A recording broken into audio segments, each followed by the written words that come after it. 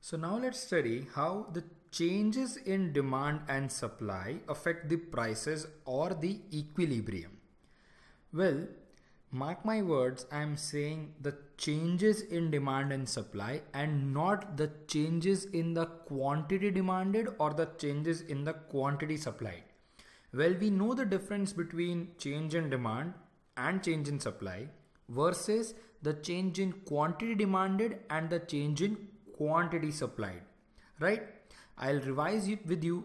I'll revise this point with you again that when there is a change in quantity demanded or there is a change in quantity supplied that is due to the change in prices. And that is called as expansion or contraction. That is movement along the curve. But here we'll be studying the changes in demand and changes in supply right this changes in demand and changes in supply is due to other factors than the price. That means other factors are affecting. The price is not affecting and hence this is a rightward shift or a leftward shift in the demand or the supply. Okay now let's proceed. So in this in this particular topic we'll be looking at four situations and then a complex situations. So the four basic situations are an increase in the demand, a decrease in the demand, an increase in the supply and a decrease in the supply, all creating a rightward or a leftward shift in demand and supply. So before we start this chapter, I want to tell you a unique way to learn this chapter. So I want you to take your right hand and your left hand and place them in this position. Yeah, make an X with your first fingers of your right hand and your left hand. Now I want to tell you this, that your right hand finger is actually your demand curve. Look at it carefully. Is it a downward sloping curve? Yes. Your left hand finger is actually the supply curve. Look at it. Can you see it's an upward sloping curve? Yes. Now when you place both of them together to make the X, the point where they, they are meeting is actually the equilibrium point. Now look, let's look at the first situation, an increase in the demand. When there will be an increase in the demand, will there be a rightward shift or a leftward shift?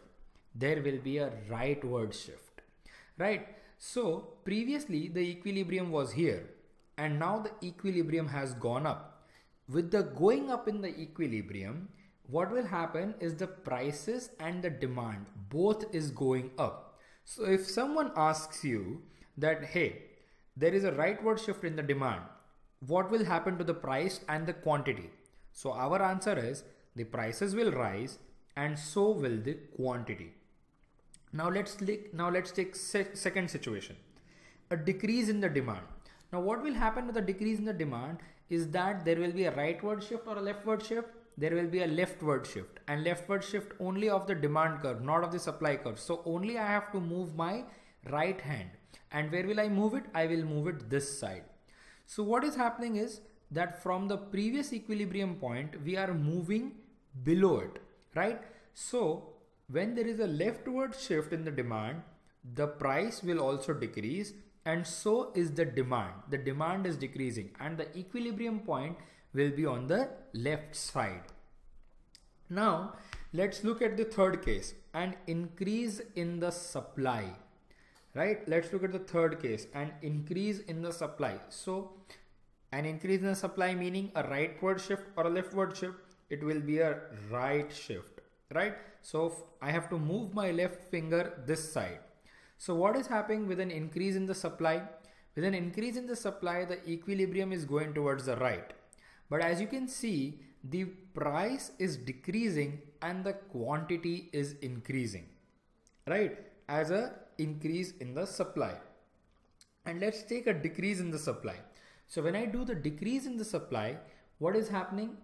As I decrease the supply, my left finger will move upwards, right? Leftwards. So when it's moving leftwards, what is happening is that the price is increasing and the quantity is decreasing and the equilibrium is going towards its left side. So this is so easy, right?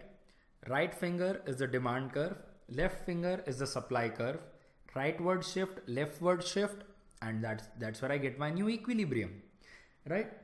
Now let's take a look at simultaneous changes. So we can build the simultaneous changes on our own. Suppose now let's let's take the first example. Suppose there is an increase in the demand. So what will happen is that the demand is increasing and also there is an increase in the supply. But the but the increase in the demand is more than the increase in the supply. Right? So let's build what will happen to the equilibrium. So there is a demand there is a there is an increase in the demand which is more. When I do that what is happening? The price is increasing and the quantity is also increasing. Now there is also an increase in the supply. That means the supply curve will also shift towards its right.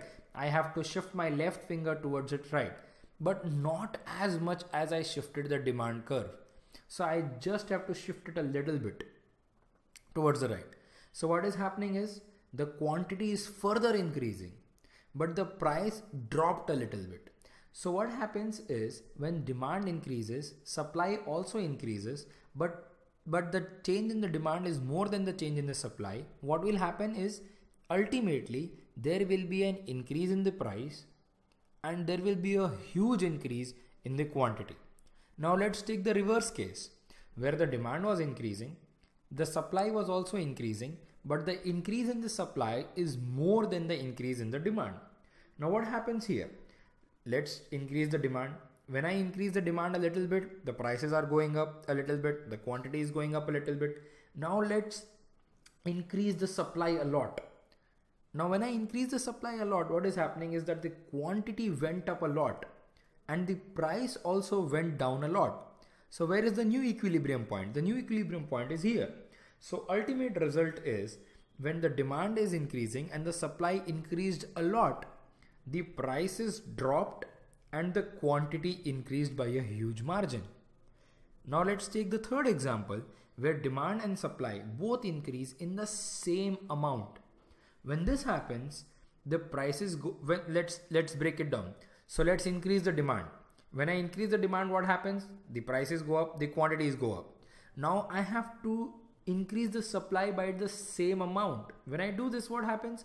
The prices come down again, right? So the price stays where it was originally, only the quantity is increased and hence there is a complete rightward shift of my equilibrium. Now I can make any changes. For example, I want you to try increase in demand curve and decrease in supply. But increase in the demand is more than the decrease in the supply and all such combinations I want you to try and find out the answer yourself. Well, I hope you could understand this nicely and please feel free to use your fingers for finding out all the answers in our practice.